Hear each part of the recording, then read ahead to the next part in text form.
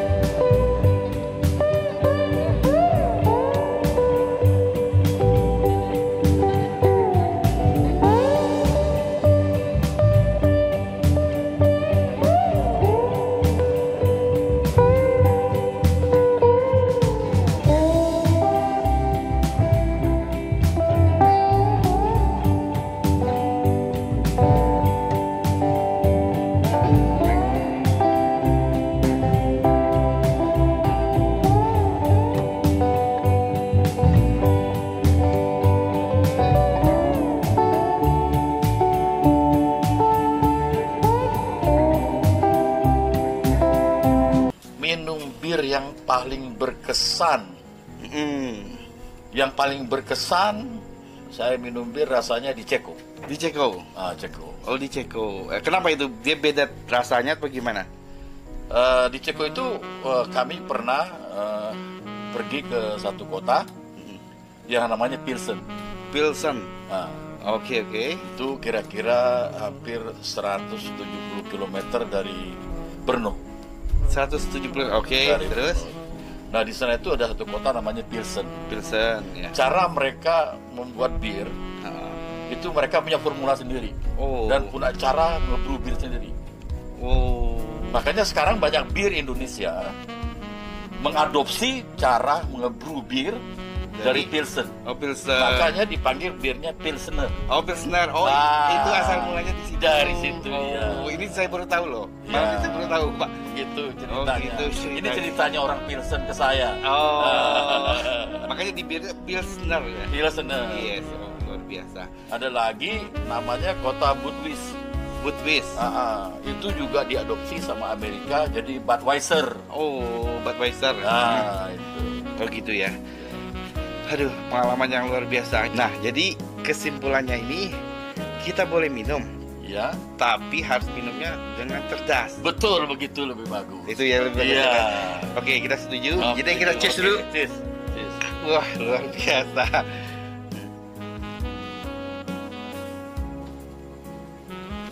Ah. Nah, Wah, ini juga bir luar biasa.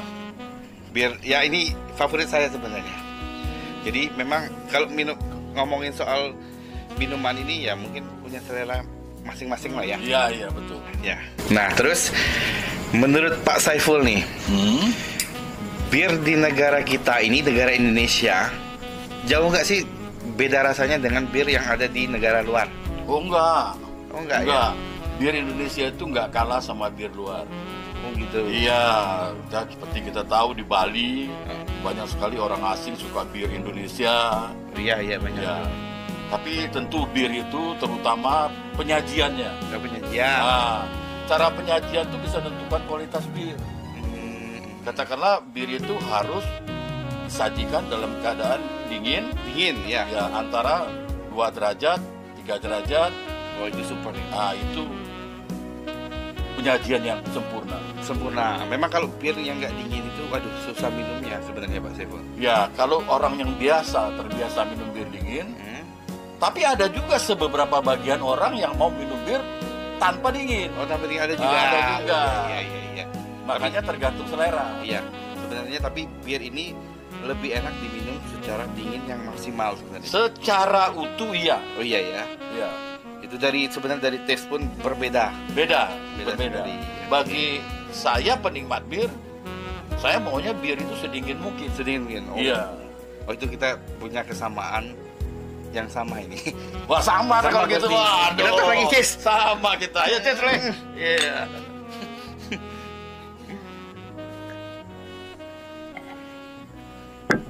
Nah ini pertanyaan terakhir Pak Saiful. Iya. Ini kan Pak Saiful ini kan sudah banyak negara minum bir, benar nggak? Iya. Kemudian di termasuk di negeri Indonesia kita tercinta ini juga. Iya. Nah, nah, mungkin teman-teman juga mau tahu gitu, apa aja sih isi kandungan dari bir ini sendiri? Oh, bir ini hasil fermentasi Heeh, dari banyak ingredient, heeh. terutama dari mal, malt, oke, Ah. mau eh, ragi, lagi, bakteri, Heeh. dan yang paling bermanfaat di sini itu hop, hops. ya, untuk membuat rasa pahitnya itu. Oh, Nah, di situlah letak eh, kenikmatan bir itu, keunikan bir itu. oh gitu. Nah, Dan satu lagi apa itu? Katanya saya dengar-dengar air juga berpengaruh penting, berperan penting ya? oh sangat sangat penting. Oh sangat penting. Sangat sangat penting. Kualitas air itu sangat sangat penting menentukan kualitas bir. Oh. Nah, bir ini ada beberapa eh, seperti di Cina, Hmm. mereka mengatakan bir ini sama dengan roti. Oh sama dengan roti. Nah, tapi ini roti cair Oh sa- samanya gimana itu? karena isinya, ingredientnya, formula yang ada di roti itu semua ada di bir ini. Gandum. Gandum, Hmm. mal itu kan, gandum. Iya. Fermentasinya pakai ragi, Oh. rotinya juga pakai ragi. Oh, iya, sama ya? Sama, semua sama. Oh sama. Saya Jadi- baru baru ini loh. Iya. Jadi, eh, Jadi- orang dari eh, Tiongkok bilang Nah. ini roti cair. Oh roti cair. Ah. Berarti sebenarnya nggak nggak ada bahaya bahayanya sama sekali sebenarnya. Ya kalau kamu makan roti kebanyakan juga bahaya.